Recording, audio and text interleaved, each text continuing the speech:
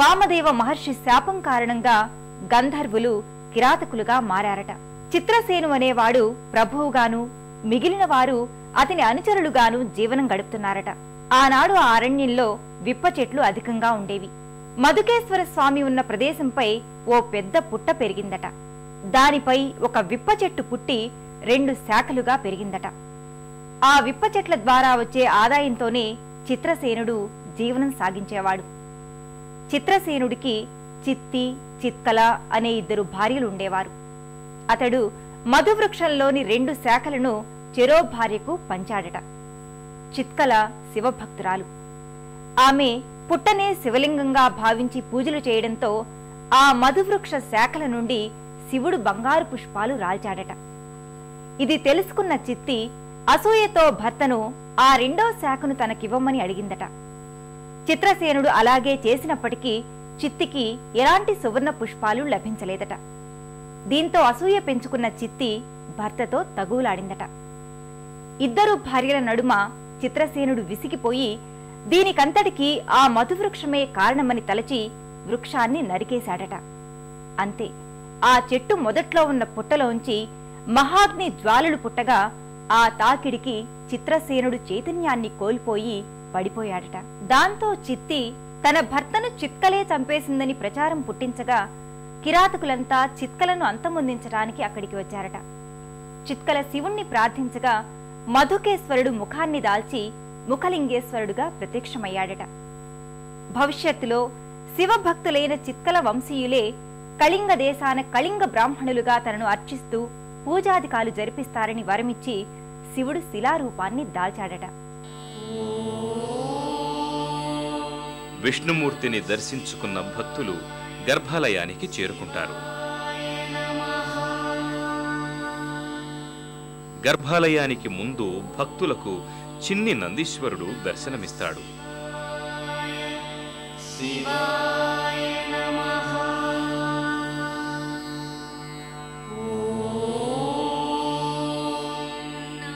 ఆ స్వామిని దర్శించుకున్న అనంతరం గర్భాలయం బయట భక్తులకు విఘ్నేశ్వరుడు దర్శనమిస్తాడు.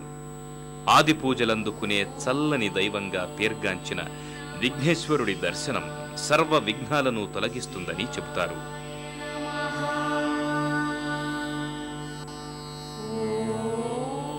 గర్భాలయంలోకి ప్రవేశించిన భక్తులు గర్భాలయంలో కొలువైన ముఖలింగేశ్వర లింగాన్ని దర్శించుకొని తండ్రి పరమేశ్వర భక్తవ శంకరుడవైన నీవు మా పూజలందుకొని మమ్మల్ని చరితార్థుల్ని చెయ్యి స్వామి అంటూ భక్తితో ప్రణమిల్లుతారు.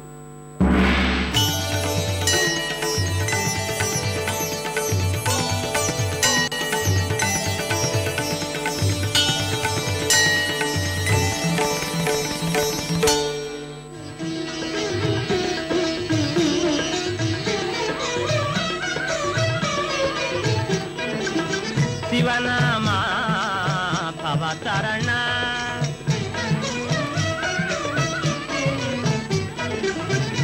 శివనామా భవతరణ భవతరణ శివ తవ చరణ భవతరణ శివ తవ చరణ.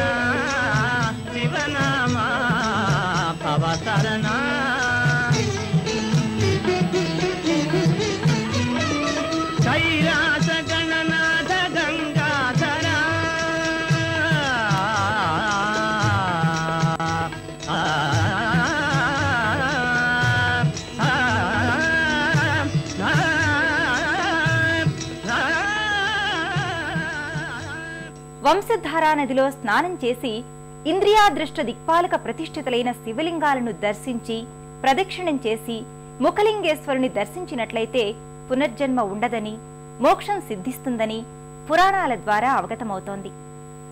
శ్రీముఖలింగేశ్వర స్వామిని దర్శించుకున్న భక్తులు అనంతరం వారాహి అమ్మవారి ఆలయాలను లింగాలను దర్శించుకొని తరిస్తారు. అంబా శంబర వైరితోత భగిని. నైరుతీశ్వరుని పక్కన వారాహి పార్వతీ అమ్మవారు దర్శనమిస్తారు. ఆ తల్లి దర్శన భాగ్యం చేతనే మనలో ఉన్న సర్వ కల్మషాలు పటాపంచలైపోతాయని చెబుతారు.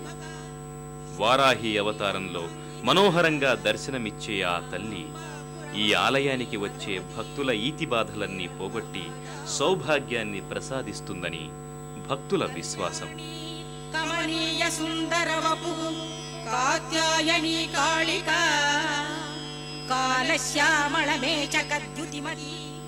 గర్భాలయంలో కొలువైన వారాహి పార్వతి అమ్మవారి ఆలయ ద్వారం మీద సప్త మాతృకలు మధ్యలో రాజరాజేశ్వరి అమ్మవారు దర్శనమిస్తారు.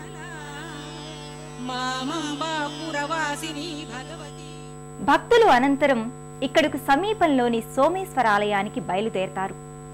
సాక్షాత్తు చంద్రుడు ప్రతిష్ఠించాడని చెప్పబడుతున్న సోమేశ్వర స్వామివారున్న ఆలయాన్ని గంగవంశీయుడైన హస్తివర్మ గణపతి క్రీస్తు శకం ఐదు వందల డెబ్బై మూడులో నిర్మించినట్లు చారిత్రక ఆధారాల ద్వారా తెలుస్తోంది.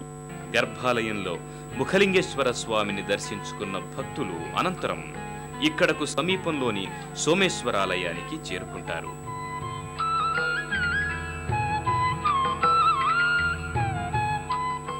అత్యంత పురాతనమైన ఈ సోమేశ్వరాలయంలో కొలువైన సోమేశ్వర స్వామిని చంద్రుడు స్వయంగా ప్రతిష్ఠించినట్లు పురాణాల ద్వారా అవగతమవుతుంది.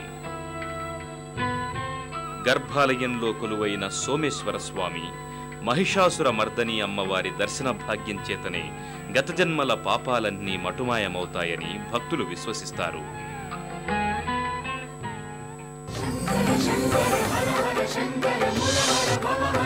Vai,